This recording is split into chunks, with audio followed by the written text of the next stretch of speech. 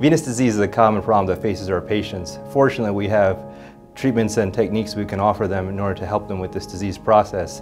Venous disease is common in women and patients who are uh, who stand for a long period of time. Basically what happens is when you have venous reflux disease, the valves become incompetent.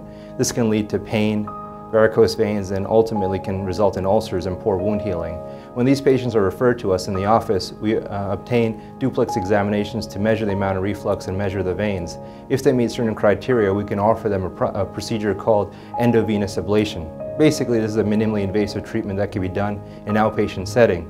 In the past, this was done with uh, open surgical techniques called endovenous stripping, but fortunately, because of the advance of technology, we have minimally invasive techniques that are far more comfortable for the patient. Basically, they come into the procedure suite.